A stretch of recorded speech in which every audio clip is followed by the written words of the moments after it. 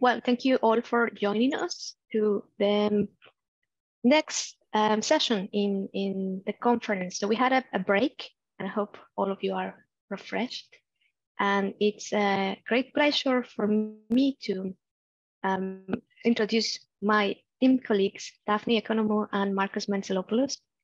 And we are going to talk about technical considerations for designing and implementing immersive learning applications. So before we go and, and we delve into the topic, um, I'd like to, for, for all of us to do a quick introduction, please. So Daphne, you first. Hi, I'm Daphne Economou. Um, I'm a senior lecturer in uh, computer science at Westminster University. I've been leading the serious games at Westminster Group uh, that it was, it was established in 2015 uh, at the university. I'm uh, supporting uh, the ILRN network, network since 2015, the second conference that they ran in Prague. Uh, and uh, my um, area of expertise uh, is on serious games, human-computer interaction, and collaborative virtual environments. Um, so yeah, that, that's that's my side. Thank you, Daphne. Markos?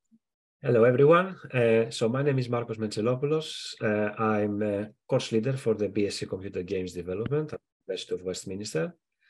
Um, I'm also uh, engaged with the ILRN since 2015 from Prague. I'm the director for the student activities as well. So we're going to be running as well our ILRN Fuser. More information uh, to come soon on that. And um, yes, my background is, uh, except not only for games, but also I'm doing machine learning and artificial intelligence. Fantastic. Thank you, Markos. I'll do a quick one as well. I'm Anasol Peña-Rios. I'm a distinguished engineer and research manager at British Telecom in the UK. Uh, I'm also part of the organizing committee, so I'm the general chair for this year's conference. I hope you are all enjoying it very much. And I'm also part of the board of directors looking at publications. My uh, research is focused on AI, immersive technologies, and digital twins. So with that, let's um, let's start. So there you go. I'll pass it to Daphne probably because she's our yeah. leader. so uh, we've been uh, all working for a number of years developing uh, various applications for uh, educational purposes, primarily for educational purposes, uh, looking at different audiences. Uh, so in our side at the University of Westminster, we developed applications mainly looking at higher education students, uh, but also uh, looking at other areas like in uh, cultural, context, uh, audiences, uh, you know, uh, targeting primary school children or, you know, the different ranges and ages. And overall, what we've, and, and, I, and I suppose, I mean, Anasol, she's been working on developing immersive applications, looking at um, engineers, uh, training, uh, tra training professionals. So between uh, the three of us in here, we have experience in developing immersive learning applications in a range of um, environments and for different target users and for different purposes.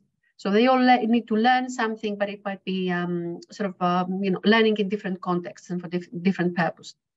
Generally, we have been uh, uh, experiencing an increase in the market of immersive learning application. It's becoming a, a big industry on its on its own, um, and that happened as a uh, as, as, as, an effect uh, on the big demand for more interactive and innovative learning experiences from educational institutions, from students, which in, increased the adaptation of the immersive technologies uh, particularly the last um, sort of decade that the technology started being uh, powerful enough, uh, you know, with uh, offering the required processing power and uh, uh, to, to afford the, um, the resource intense, intensive um, needs of this technology. Uh, however, apart from uh, dealing with the uh, sort of a technical, technical um, issues, when you're designing and implementing this type of applications, there are various issues that they need to, to be considered, and there are se several technical implications to be considered. Um, Anasol, if you want to move. Uh, so the immersive learning applications, uh, the, the, the, the, issues that they need to be considered, we figured out that we can categorize them in, in four broad uh, areas. Uh, issues that have to do with the pedagogical requirements. We have to think what are the needs, what are the learning objectives, what is the scope of the application, at what stage of you know of learning they support. Is it to prepare students to learn? Is it to assess students? At what stage of the learning process? Uh, you know, we're, de we're developing something for. Um, what are the user experience implications? Um, we people are talking about uh, uh, engagement, increasing engagement. Uh, we are thinking about uh, um, gamification and you know doing various tricks in order to increase uh, immersion, not increase immersion, but increase engagement. Uh, we have to think of the hardware that we're using, and the hardware has got uh, a very important role into considering, you know, what decisions we're going to take, what design decisions we're going to take, um, but also what development decisions we will have to take. And also we have to consider other technologies, other technologies that are not necessarily the hardware that we're using, the headsets or the controllers to interact uh, with the applications, but also other technologies, for example, analytics, AI, to understand user behavior or to understand learning behavior or to understand learning and understanding. Um, so these are the technologies, these are the, sorry, the main criteria that we thought that uh, they play important role into, um, that they need to be considered be, before we start working on developing an application. So what we thought of doing in this workshop is to go and uh, uh, talk to you about various use cases. Um, also if you can move into the next uh, slide, please. so we collated uh, five different use cases based on applications that we've been um, working to, to develop, apart from the last one, which is um, my understanding is that none of us has really done something with that yet, um, at least with the way that uh, people refer to metaverse at the moment. Um, so for this, we, we will make uh, just a, a, general discussion about uh, web VR and metaverse in the educational context, uh, context at this stage.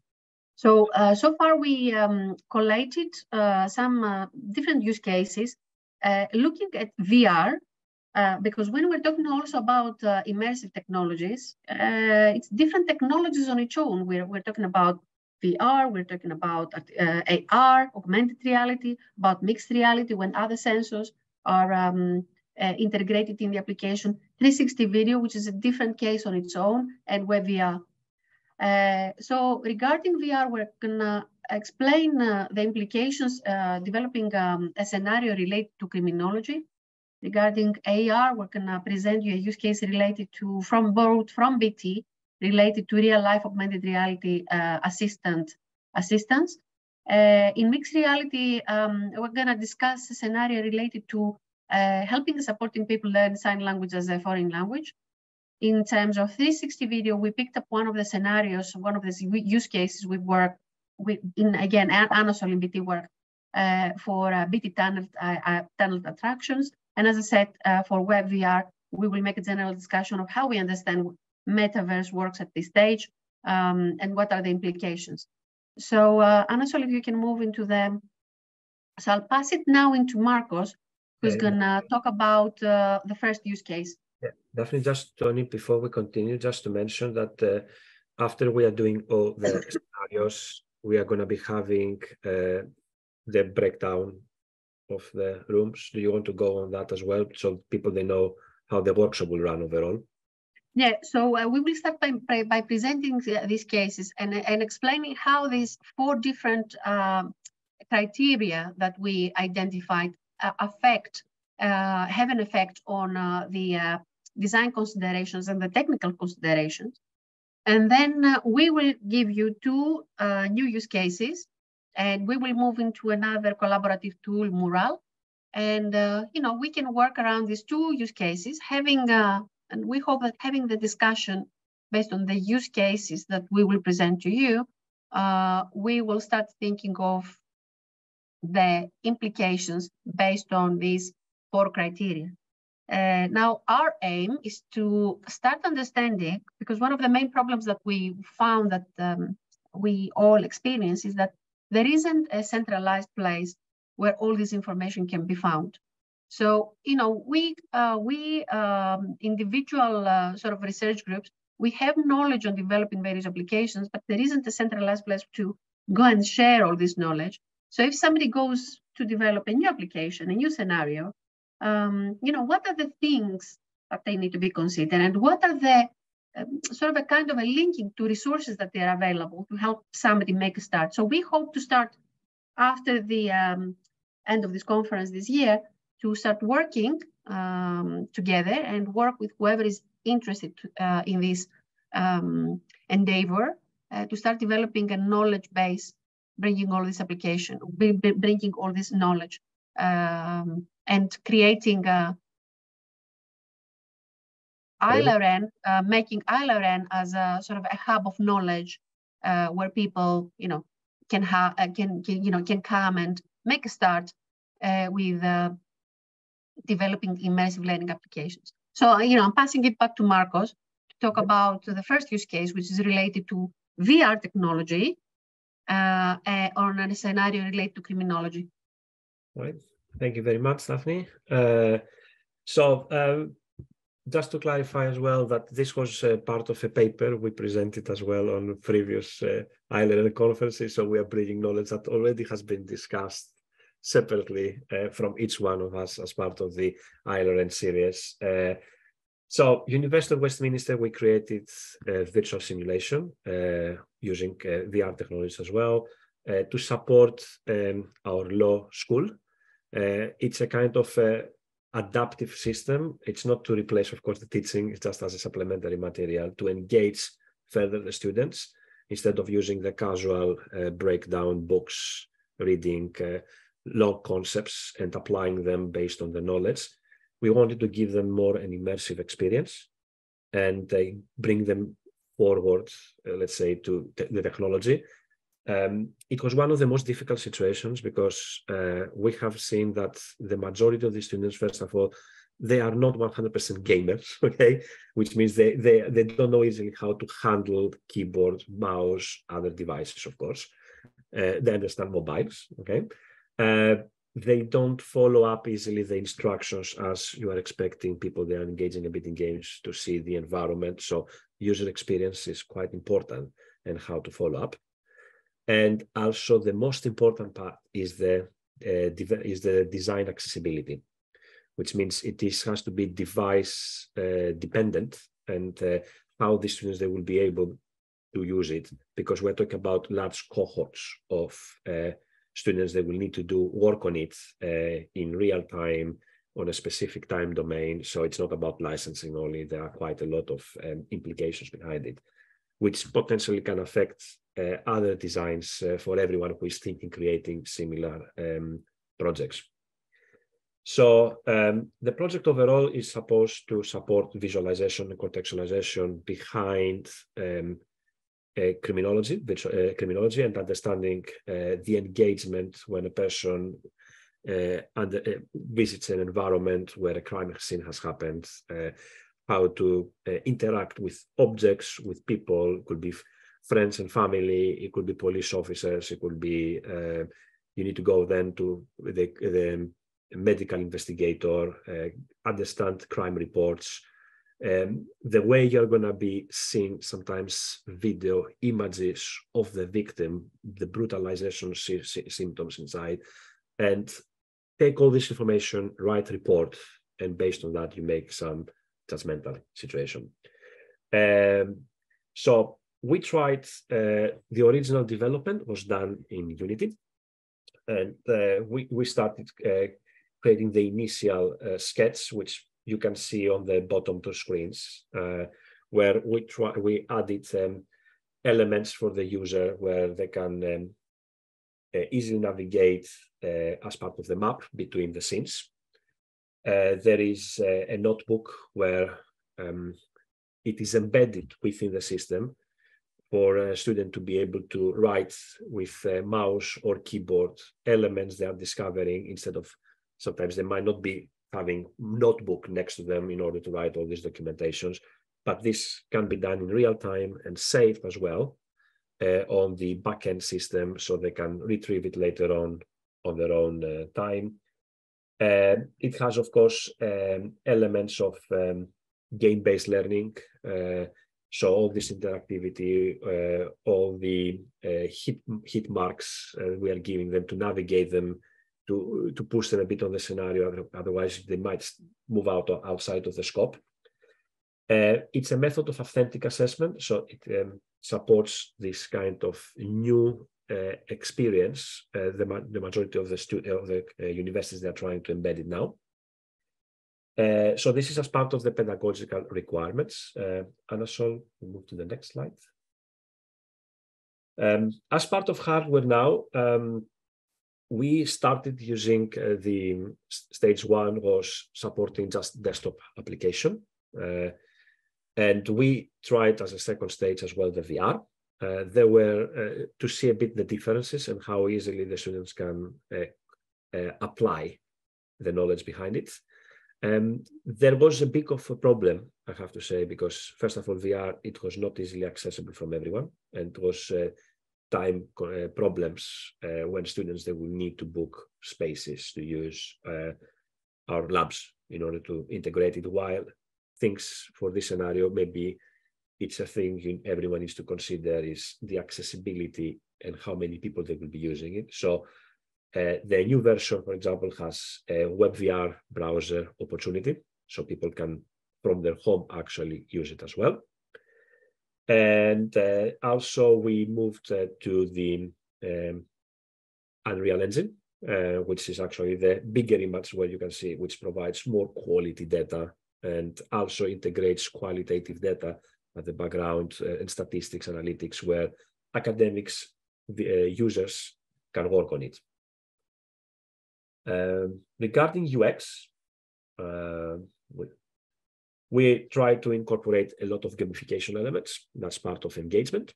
And also the uh, supports the analytics for the academics that they are running this workshop class uh, to support uh, understand how students they are understanding the scenario and where they are engaging, where they're disengaging.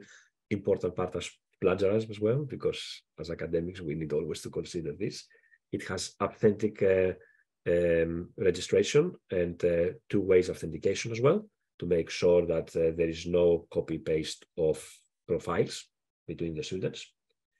Um, as part of UX as well, we are looking for interaction with the environment, understanding hints, clues. Uh, as you can see, the map as well, uh, all of these features, they are hidden most of the time across the screen. So they are not, they are embedded, as we said, within the environment. So they don't obstruct with the overall perspective and the student can be able to move across and look and feel really how the environment is um, also, you can see real videos, images of the victims if you want, okay, which gives you actually messages. Do you want to see this in details? Because sometimes maybe a bit um, of uh, ethical considerations, the way you're going to see brutality behind it and write your comments, or do you want to see a more cartoonish, let's say, version to avoid any implications? Uh, considering now other technologies, and this is where the next version uh, we will be moving on, is uh, to include uh, the new technology behind Unreal. That's why we chose it, which is the MetaHuman.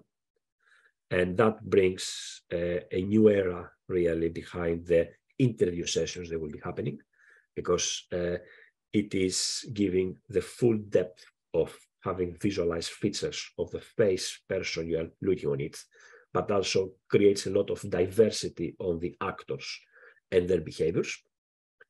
Uh, Twinmotion as well, because it gives more background environment as part of the user experience. And one of the new designs we are investigating now is the Convai. It's the conversational artificial intelligence, which is like ChatGPT, but integrated SDK for Unity and Unreal, and provides, if you put uh, visual effects and uh, avatars, it creates mimically a whole dialogue-based system, more casual than anything really on your scenario. You can put even a whole book and recreates the whole um, behavioral modeling of your avatars while you are conversationing with the actual user and provides feedback um, well as part of immersion is really to the scenario. Um, that's it for me really. I don't think so I have any other slides in mind. Yeah. Nope. All right. Next, next one is me. Thank you, Markos. Okay. So uh, the next use case is focused on augmented reality. So as you know, augmented reality has different uh, affordances. And the scenario specific is more towards um, uh, training. So this is more, um, yeah, related to in this industry. So before I go into the um, application itself, I just wanted to give a very quick background of of the company so you understand why we have these specific requirements uh, in terms of hardware and user experience. So this is for field force engineers. So British Telecom is a UK's leading network provider of anything telecoms. So it can be fixed line, broadband, mobile services, um, TV, IT services. And it has operations around the world, but the key issues here are that uh, the network underpins the UK's critical national infrastructure. That's why we always need to have someone ready to fix anything that is wrong. Apart from doing uh, consumer services, we also support the, the critical national infrastructure. And we employ approximately 7,000 uh, um, engineers that work on different areas in different capacities. But as you see, it's a very large workforce. And the idea is we need to have them the knowledge ready for them to consume it in a way that they can apply it easily. So we were then designing an application uh, using augmented reality to help them uh, doing installation. In this case, it's installation of, of fiber um, uh, to houses, so to bring a broadband into houses. Um, but the business objectives, these are key when you are talking about industrial applications because everything you do needs to give uh, value back to the business. That's why I have these um, points here about business objectives. So business objectives of the application, um, apart from training and giving support, our engineers are more related to uh, the bigger picture for the company. So speed up uh, the rollout of infrastructure or um, reducing the errors when engineers do these, um, these tasks. That's why it's very important that we have the right information at the right time for the right user. This will allow us as a company to reduce um, job completion times and uh, also avoiding sending people over and over to uh, fix the same issue, uh, which uh, also uh, it, it is related to quality of service. So the challenges we have in developing immersive applications for this specific area is that we have, as I mentioned, we have a very large workforce, but it's also an aging workforce. So this involves um, topics of accessibility. So how, how easy it is for people to look at the technology that we are using and as well how easily they will adopt the selected technology. So this is key for us before identifying what are we using for the purpose here. Um, other things like uh, how we can quickly onboard new employees, uh, the way that uh, uh, um, technicians and engineers um, get trained is when they join, they are apprentices, unless they have experience. But when they join, they are, they are apprentices and they are in a two-year uh, program of training.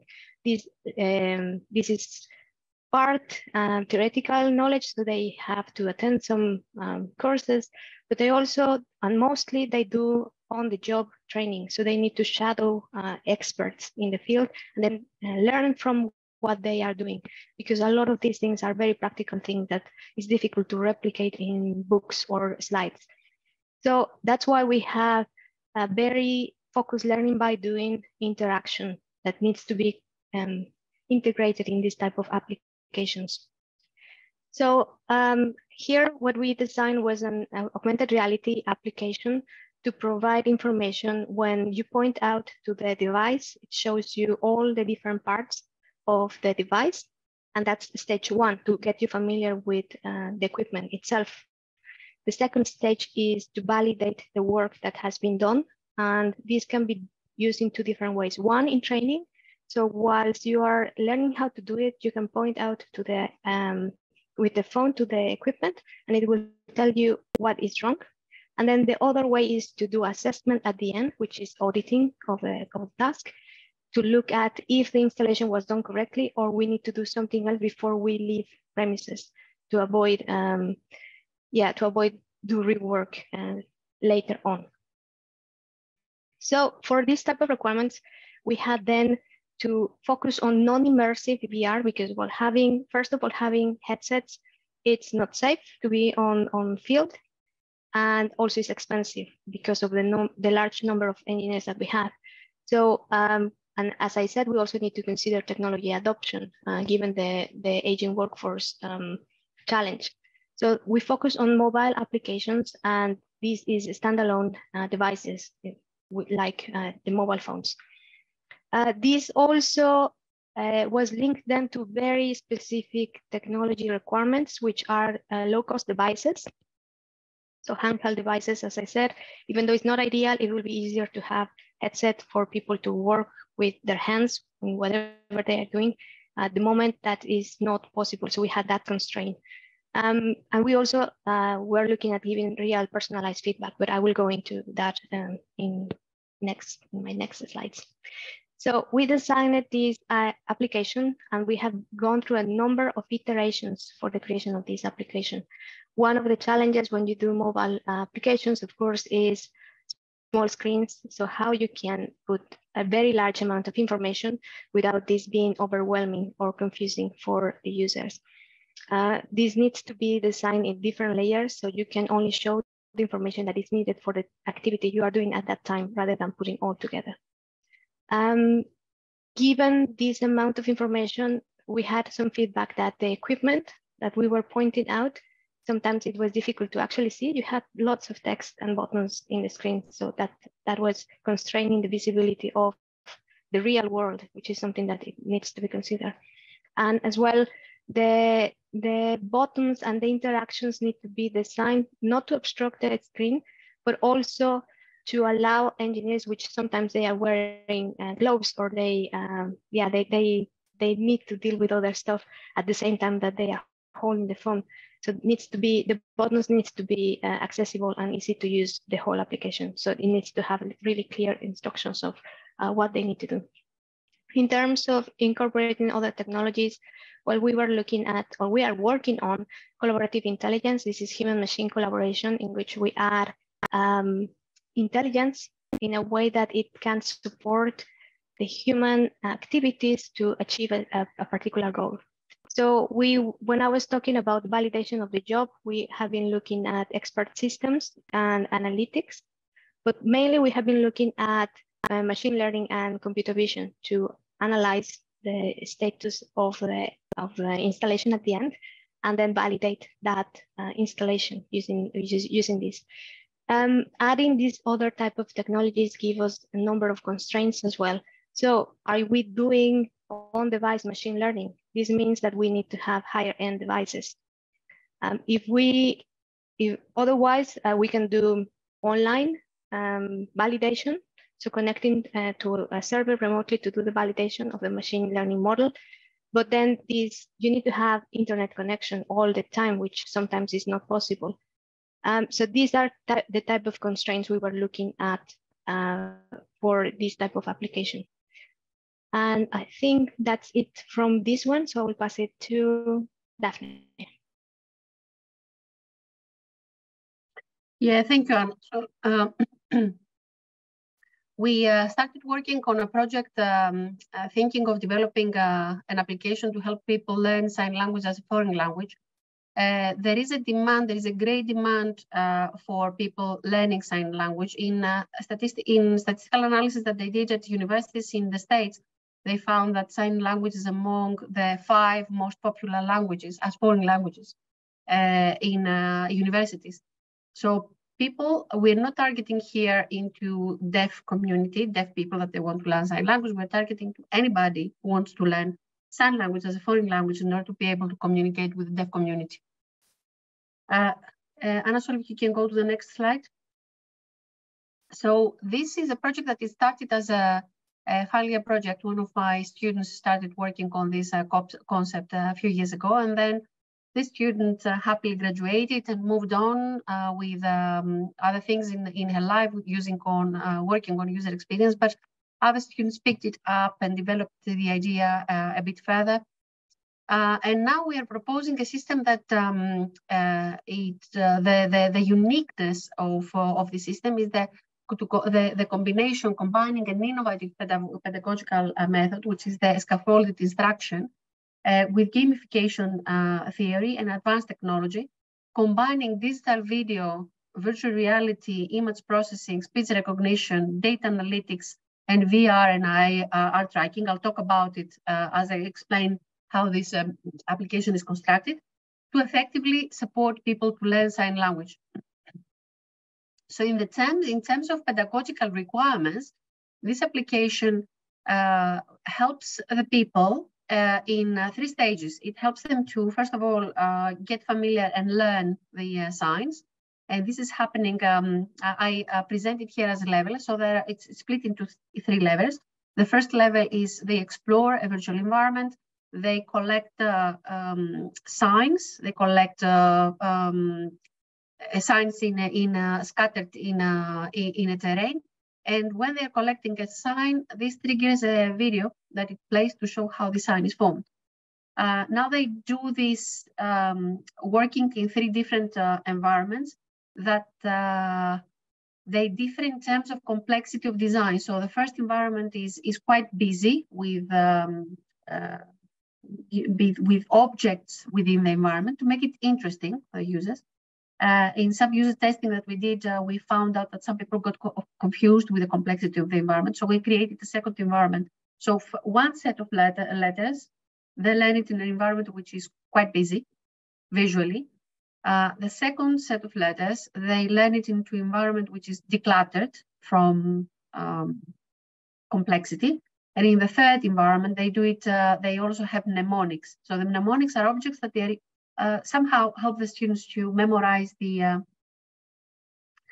uh, the letter that they are trying to find. So, for example, banana for B. So this is the first level. The first level, they collect all the signs. They see the videos. The, the videos they can uh, they they see them by default three times, but they uh, and they collect them in in a in a uh, in a in a book again in an inventory and they can play them again and again if they think that they can't remember it and they want to help their memory.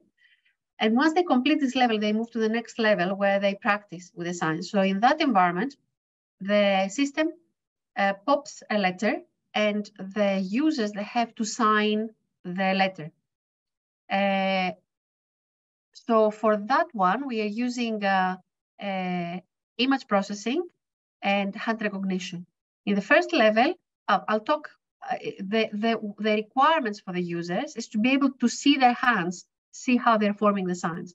In the second, but uh, in the second environment, this is a necessity. So the system needs to understand how the systems form the sign um, in order to give them feedback if they formed it correctly or not. And after they've practiced and they feel confident enough in the second level, they move to the, the final level. And the final level is the assessment, uh, and the assessment happens again in a gamified way where there's a master running to catch the, the players. The masters, they've got a sign uh, above their head, and the users, they have to speak the sign that they think that the master uh, carries above their head to keep them away. Um, so this is the, the scaffolded instruction and the gamification that I mentioned in uh, one of the uh, innovations of this application. That's how the users gradually they uh, you know they they learn something we help them to practice it and then they are assessed this is the scaffolded instruction and the gamification is of course that all this is uh, in a in an environment that uh, uh it has game elements if you can move to the next slide Anderson. So this environment, we built it as non-immersive and, uh, and immersive. Non-immersive meaning uh, not wearing headsets. so the non-immersive environment runs from standalone uh, devices and via a web VR browser. Uh, and uh, it could run via a mobile uh, device, depending that the mobile device is powerful enough to uh, do all the processing, uh, browsing it from the web browser. and for the immersive VR, we've experimented with two different headsets. one was the Oculus 2 MetaQuest and an HTC Vive. Um, and the reason for doing this is because uh, HTC Vive, Vive uh, enabled us to uh, work with some um, uh, analytics that we want to uh, uh, integrate in there in order to gather user behavior. If you can move to the next slide, Anasol. So now in terms of user experience, uh, what are the things that and the technologies that they are involved in here is that we're having in the first environment we're using um, eye tracking in an immersive environment in the non-immersive environment we're not using eye tracking uh, actually, sorry, in uh, yes, we're using eye tracking um, in order to, uh, for two reasons. Uh, one, to analyze user behavior, to see exactly where the users are looking and what is what elements attract their interest. And we're using it also in the immersive environment for a casting to assist users to be able to navigate in the virtual environment.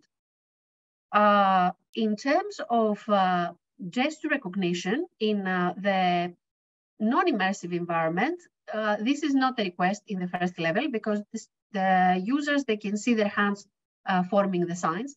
In the immersive environment though, when they are wearing a headset, um, this is an issue because we have to, we need to find a way of uh, being able to um, do, uh, to uh, sign the, um, the, the, the signs from the the signs and also being able to see the hands in the virtual environment, which is something that, you know, if we are using a headset, you, you can't see your hands. So we need to find ways of integrating that in the virtual environment. In the second uh, environment, uh, where hand recognition is um, uh, uh very important uh, because based on uh, hand recognition, we're using machine learning to train the system uh, to understand the correct formation of the signs, and then we're using image processing in order to um, uh, understand the correct uh, formation of the sign to be able to give feedback to the users if they are forming the sign correctly or not. Um, and um, if they're not forming it correctly, then the system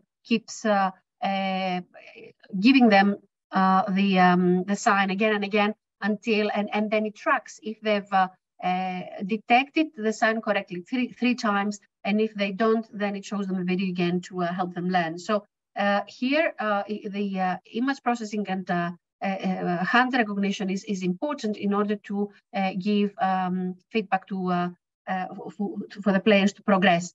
And uh, the final uh, level is the um, speech recognition, which uh, um, again, if we're using a, a non-immersive environment or a non uh, or an immersive environment, it can be um, uh, uh, it can have different different implications. Now, the other technologies that we're using is analytics, and we're using analytics in order to uh, understand um, learning behavior and also user behavior. Learning behavior to uh, that helps us to understand how many um, times they've done something wrong, uh, what is the order that they collected the signs, and how this affected the learning how many errors, and um, the uh, um, uh, the uh, user behavior in terms of how they navigate and uh, uh, perhaps how this affects their experience. You can move to the next slide. Yeah, and that's from me uh, regarding that scenario. Okay, thank you, Daphne.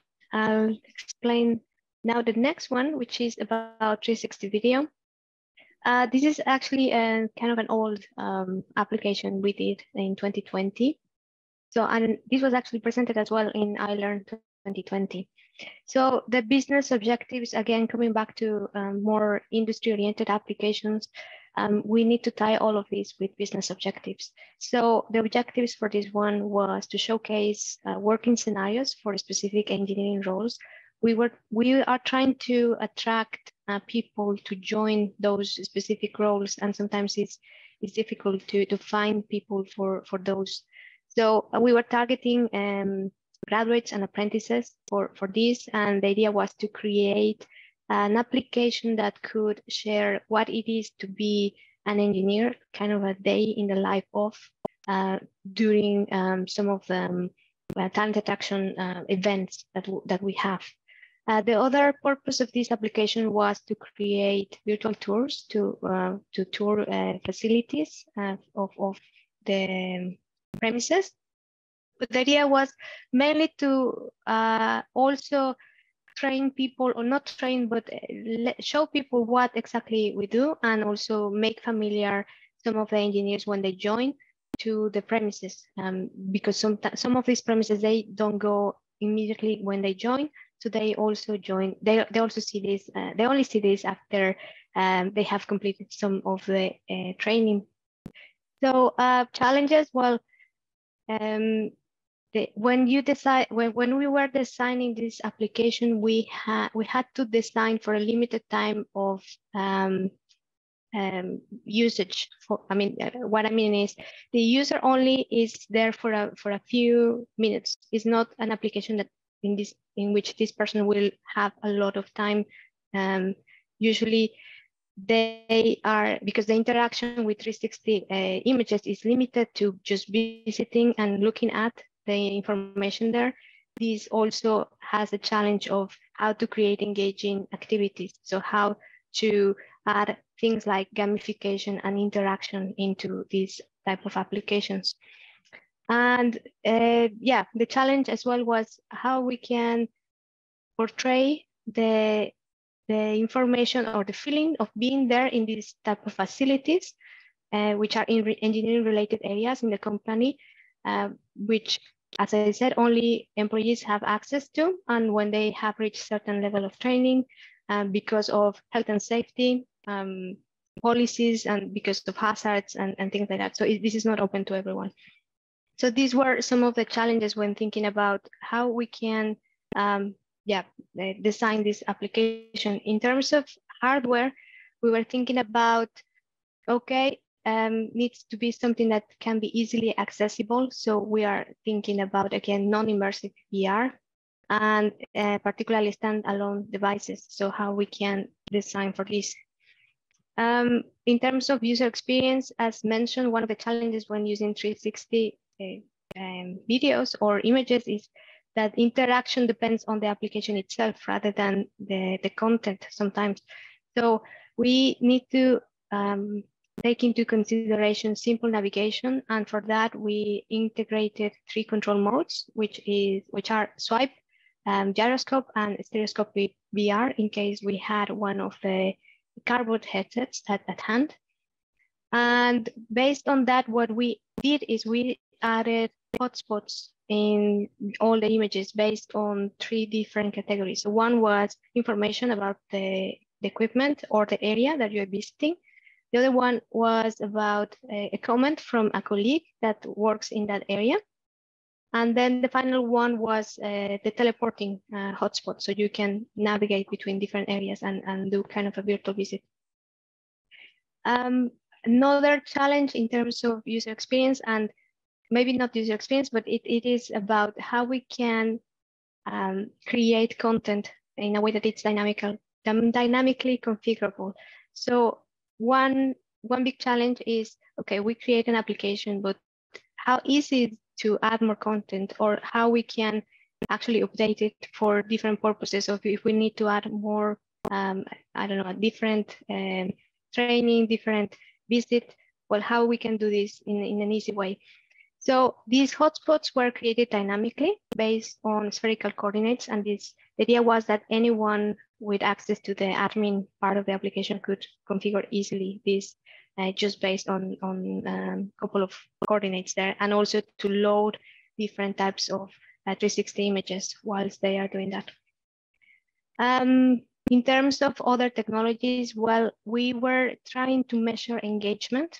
And again, this is something that it's, it's difficult when you have limited choices uh, in this type of application. So what we did is we uh, created an AI-based engagement um, sort of agent. It was using um, type one logic to look at how much, how, how many of the uh, hotspots were uh, visited uh, compared with how much time you spent in the application and in this in these particular um, spaces.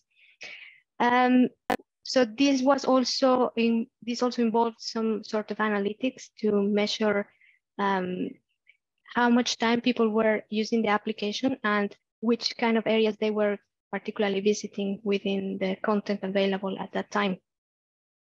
And all of this was compared uh, against reported engagement, uh, which we gathered through questionnaires.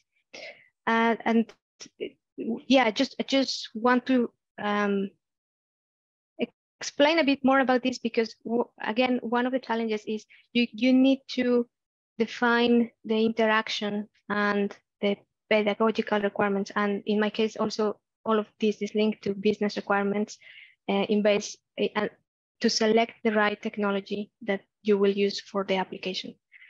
And with that, I think I'll pass it to, is it Markos? No, it's back to me, uh, Anna. So uh, it's about okay. WebVR and uh, metaverse. Uh, so, and if you can move into the next slide. so in terms of uh, WebVR and metaverse, uh, we don't have a specific uh, sort of use case that we built to to discuss.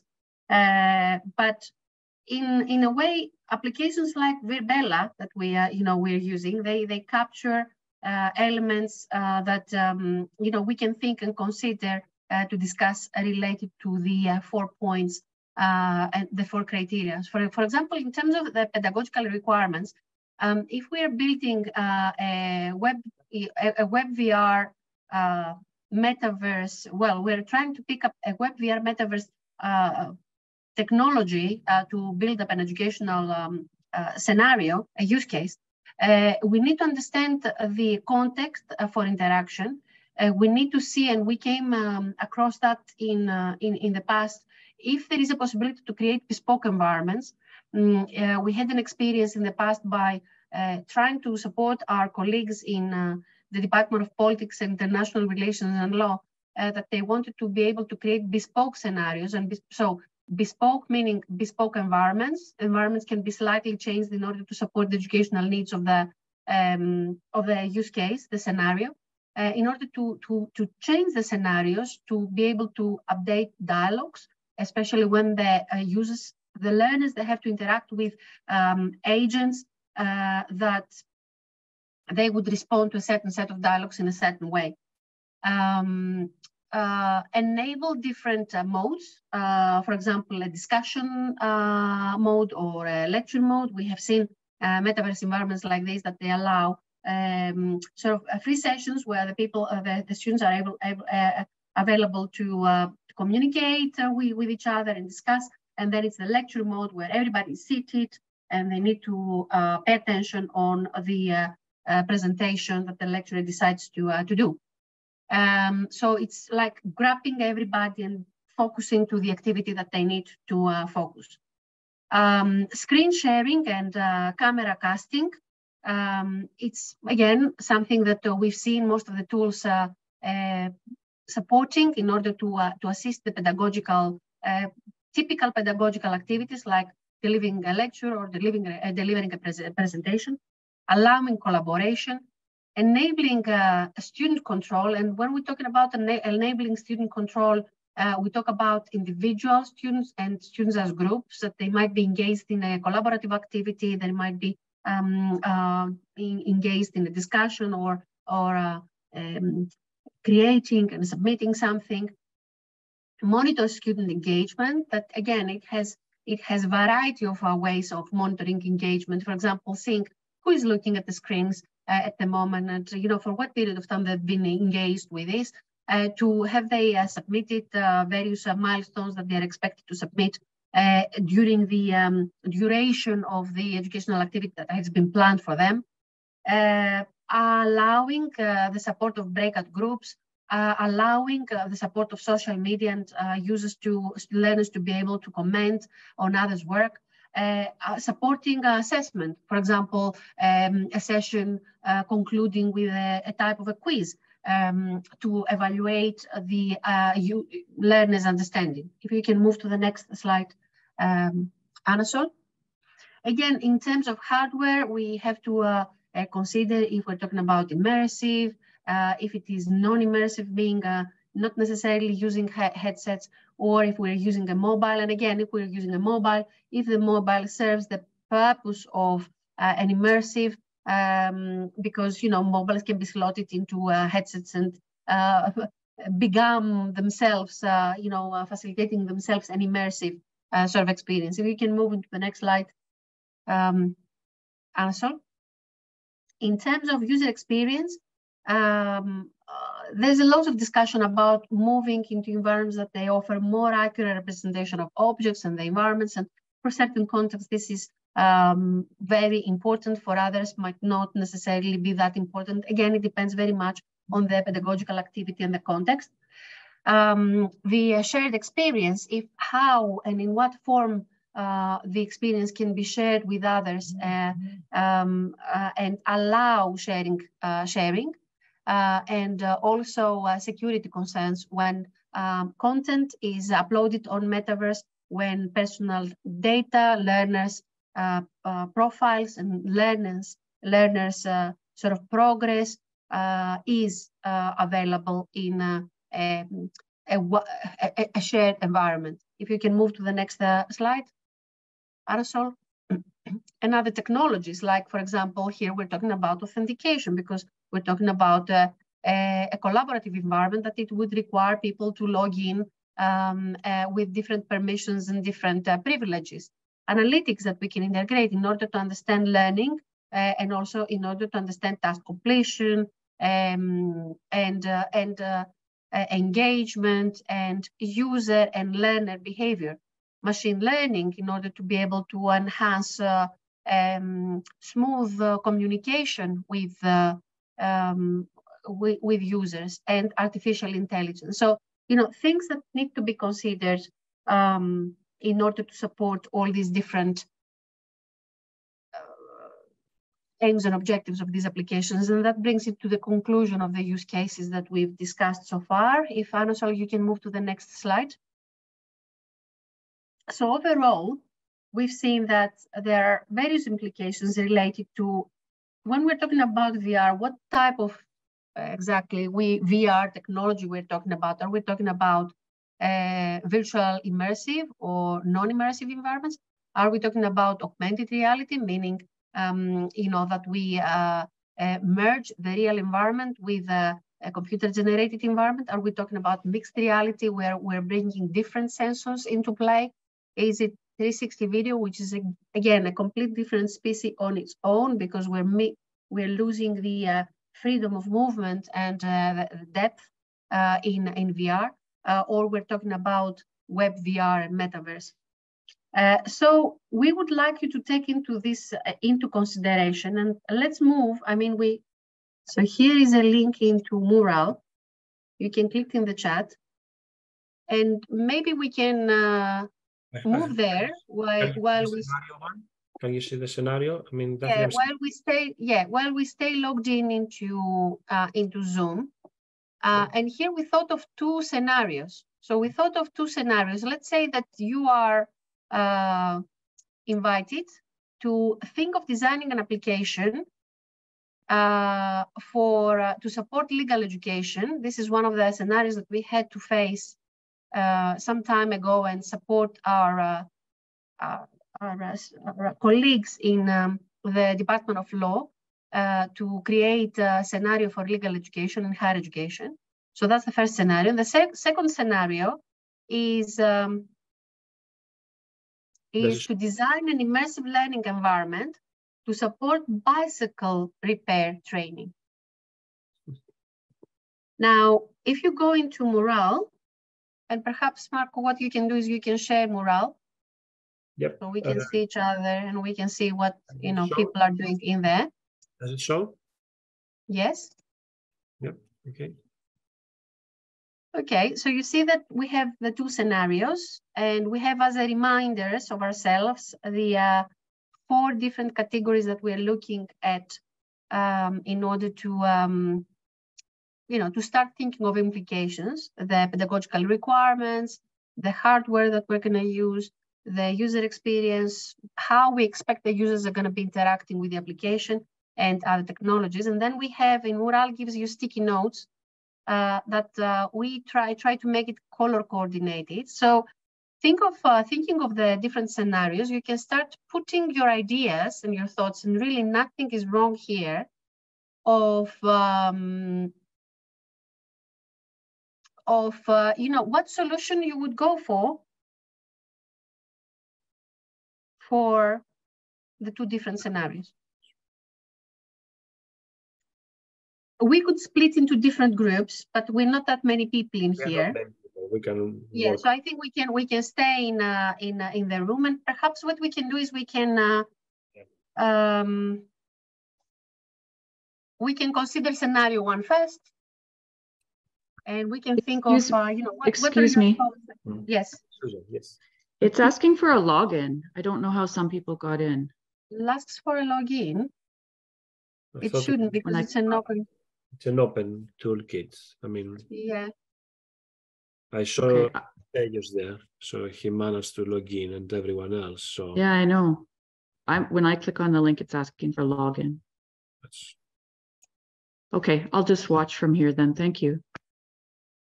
Okay. That's quite strange. uh,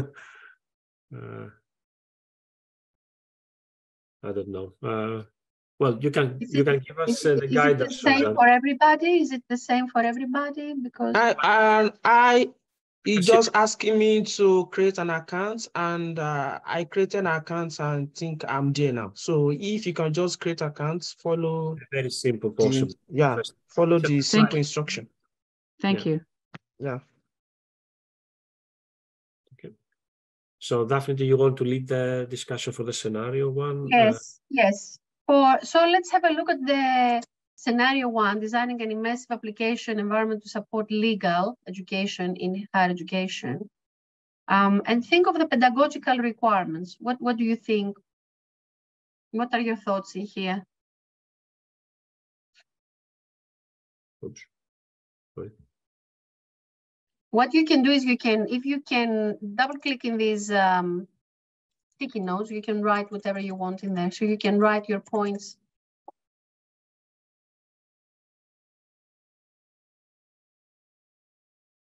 So for example, Wait, do that. here, one of the pedagogical, yeah. Mhm. Simulate courts. Yeah. Yes. Uh, simulate.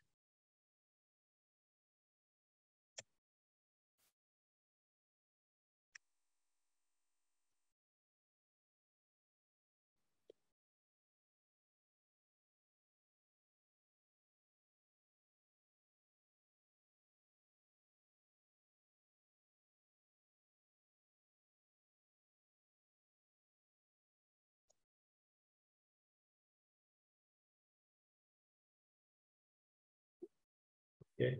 So discover evidence or information about a case, simply courts of law.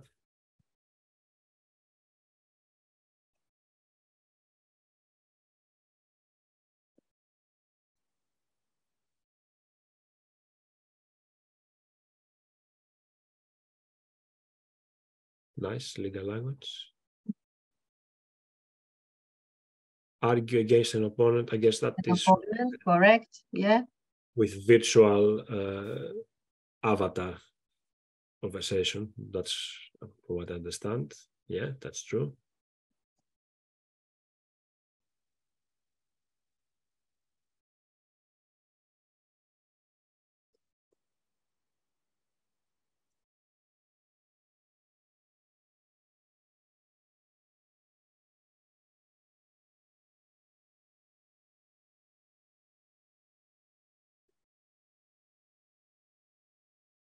Mood. I don't know what is the mood.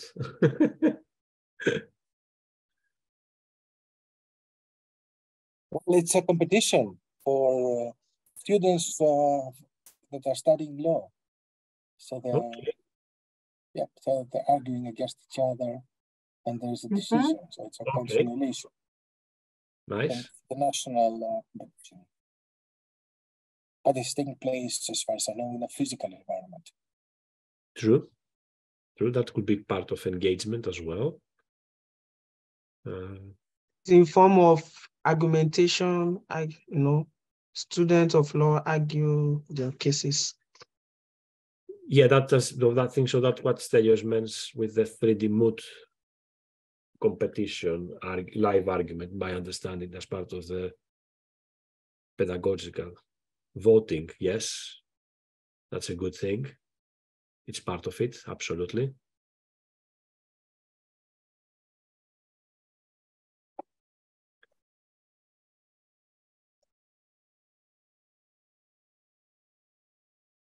sorry, I'm not interacting because uh, I'm moving up and down the, the environment as well, in case some people they would like to see more details on the sharing. I wonder where you're picking all this from. Sorry? From the uh, sticky notes.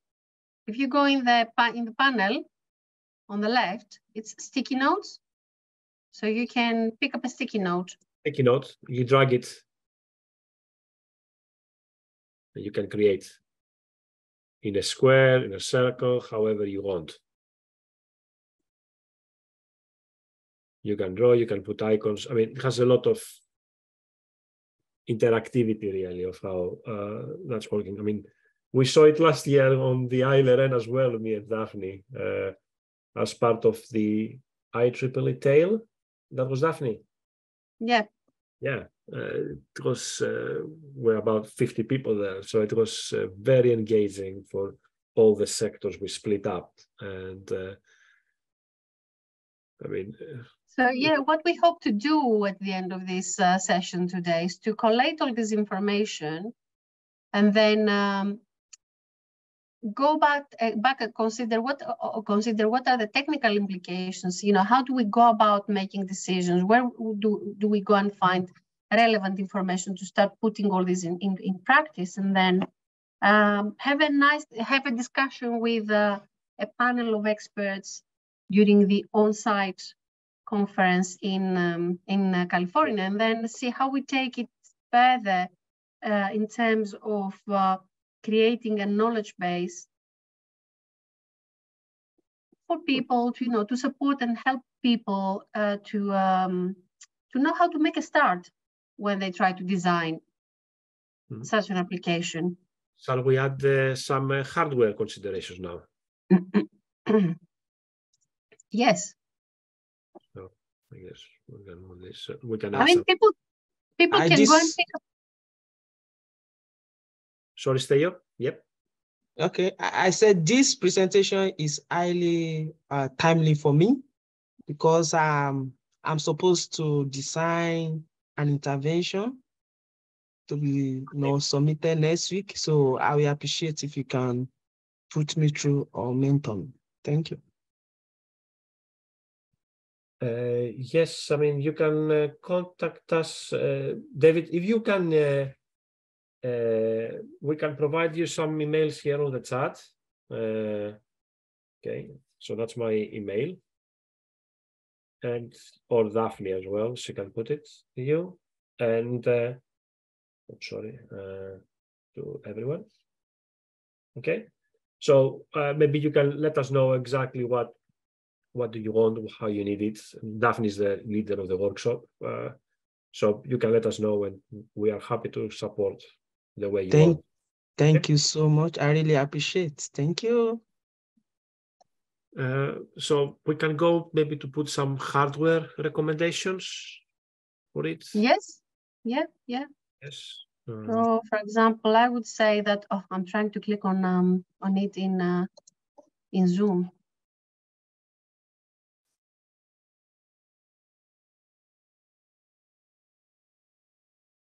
Uh, Marco, if you want to put the sticky notes on the side of, ah, right, okay, sorry, put, nothing.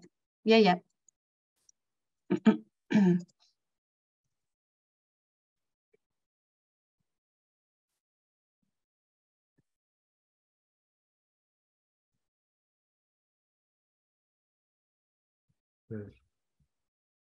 So the other one could be as well networking.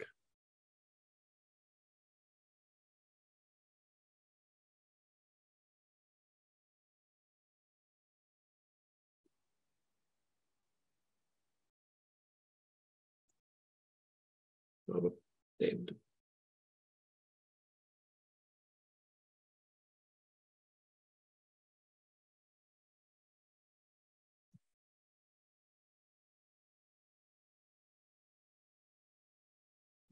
Okay.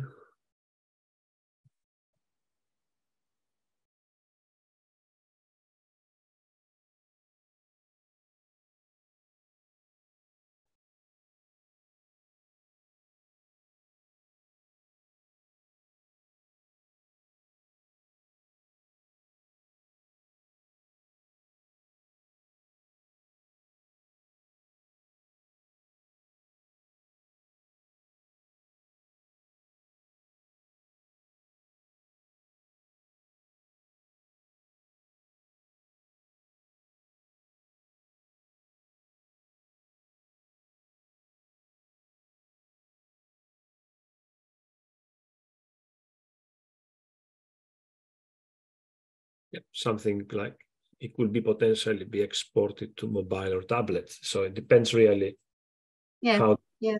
scenario who the end users will be in a classroom uh, to provide the highest accessibility Uh-huh. and it's the stability maybe not full the immersive like hardware as part of controllers or anything but still uh, it can be quite uh, engaging on that way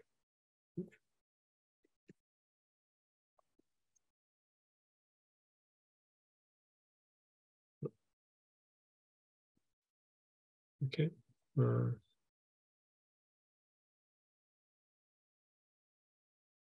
okay i can see people they start putting uh, ux and uh, we can put other technologies as well I mean, to synthesize. Well, that's a big one.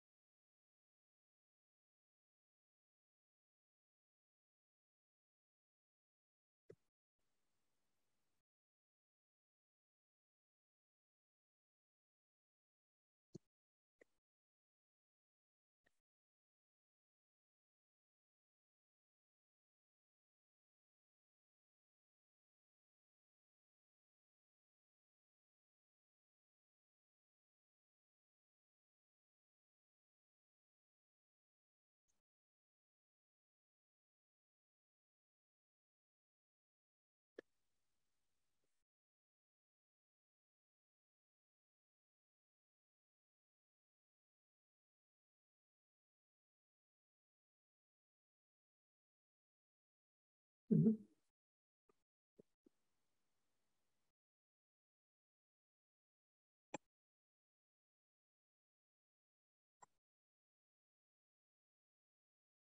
Yep. I see some nice ideas there.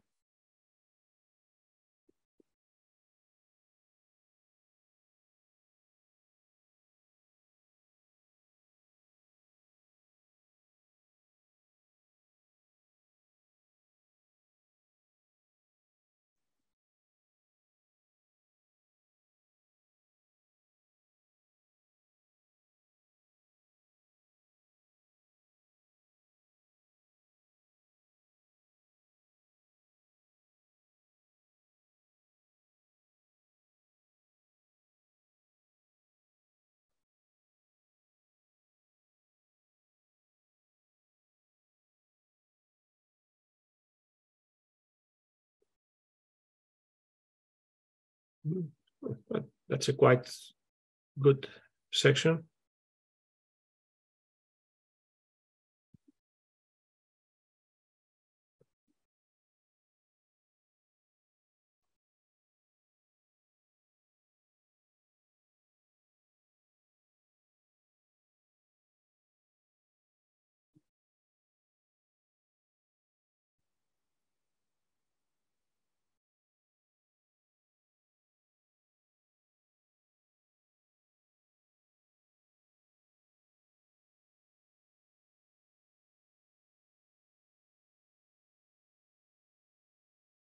Uh, Daphne, do you want to discuss on the things we have put on, or do you want to do the scenario two, or do you want to just leave it on scenario one? Um, no, I think that I think that uh, I'm, I'm I'm conscious of time, and because you know we're taking we're taking people's time. So, uh, would people want to uh, continue working on the second scenario, or do you want to work uh, on the first scenario, try to, um, you know, to add a little bit more information and close with some discussions looking at the first scenario. And this board is open. You've got the link, so you can continue working on that and adding your ideas uh, and help us to consider certain issues that we can discuss in the panel uh, in uh, California. What people want to do. Uh, because there are not many people here, so I don't know who is active still. David is.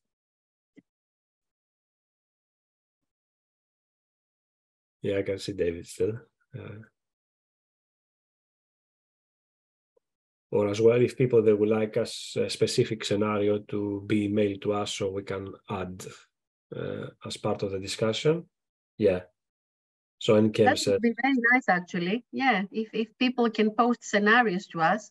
Yes, we can consider them. We can add them as part of the uh, platform, and uh, we can take the discussion as well offline. Yeah.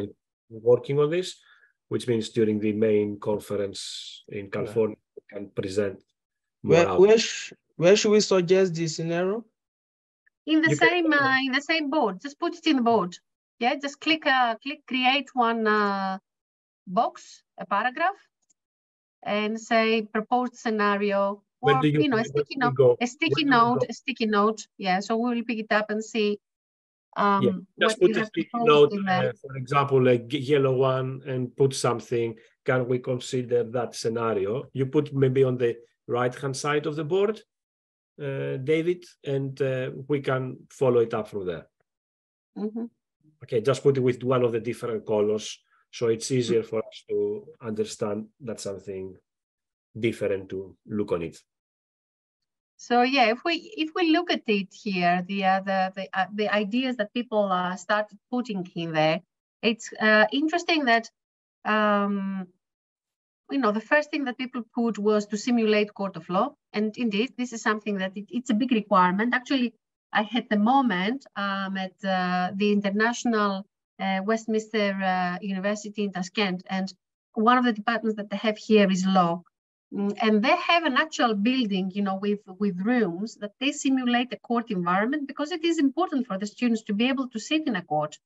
Uh, it's a part of the training. That's what they do. So they need to, you know, to, to be dressed, to be positioned. It's, it's a part of the learning.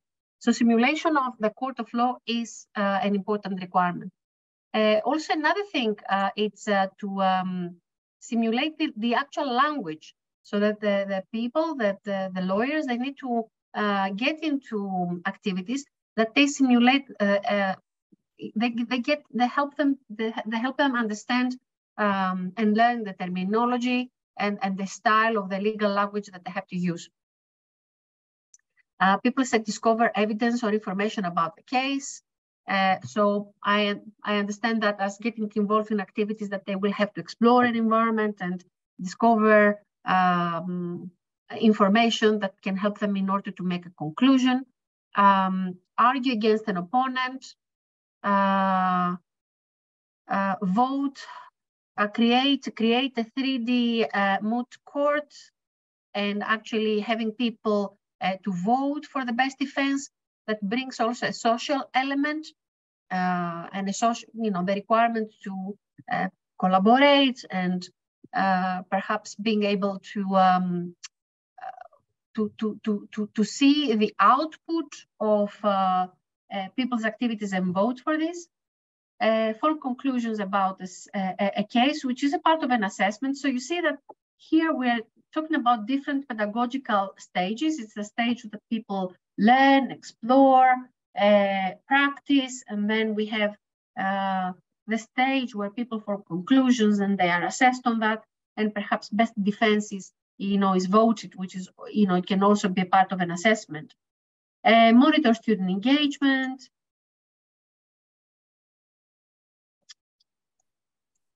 Then, uh, in terms of um, in terms of hardware, yep.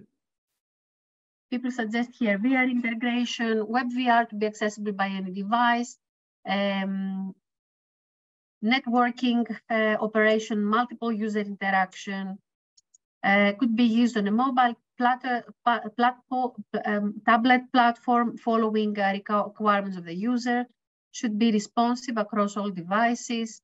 So again, the, these are uh, impose completely different technical implications because the interaction style is different if you're wearing a headset or, or not, if you are accessing it via a browser or if you are accessing it uh, on a mobile device. And of course, this has a direct effect on the user experience. People, um, in terms of experience, they've got uh, issues here related to navigation. Navigation, I understand it as navigation in the VR environment, but it could be also navigation through content uh, it could be navigation through uh, pedagogical stages uh, or through task completion.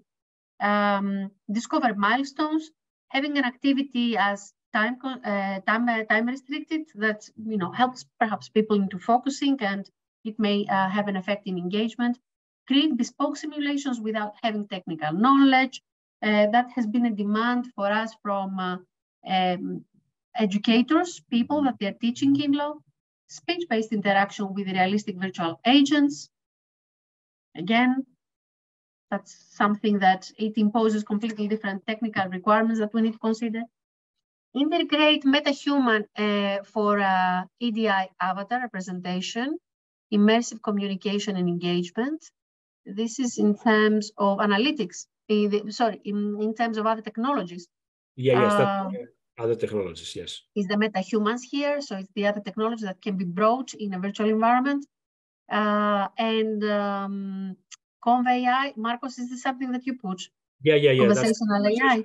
AI, which is the platform which creates procedural generation dialogues, but also you put uh, of avatars and automatically creates the scenario movement around. So you don't need much really to program. It takes from the text based information, the avatar, and recreates the model how to move around the space. So uh, we hope that we are going to be able to have a small, uh, some people from the company actually creating that uh, during the conference uh, live uh, as part of the panel there. And maybe they can do a small demo as well, like three, four minutes of what that software provides. Maybe for the future people, the reference they might like to see it. So yeah, we, we you know just to conclude uh, all this, uh, uh, we see that the decisions that we're taking, the, the, pedagogical decisions that we're taking, the hardware that we decide to um, develop an application for, the user experience, um, you know, the interaction style that we decide to use, or the experience uh, that we want to create, uh, and other technology that we uh, we want to create are all elements that we need to consider um, that they affect the design decision and they also affect the uh, development, the implementation decisions that we have to take. Marco, is there something that you need to add? No. For people, something that they want to add? Well, thank you very much for being here with us. Uh, stay with us. Uh. You've got the link. Uh, keep thinking of these uh, issues that we discussed today and keep posting your ideas. and we'll hope to collate all this and uh, hope we can see, see you in California, either in person or again, uh, because we're going to be streaming this online, uh, uh, pick it up with a panel of experts that we're going to invite in and have uh, an extended discussion on, you know, where we go and what do we need to create in terms of a knowledge base to help people people take decisions when they're developing uh, immersive applications. Thank you very much for being here with us today. Really happy to have you all.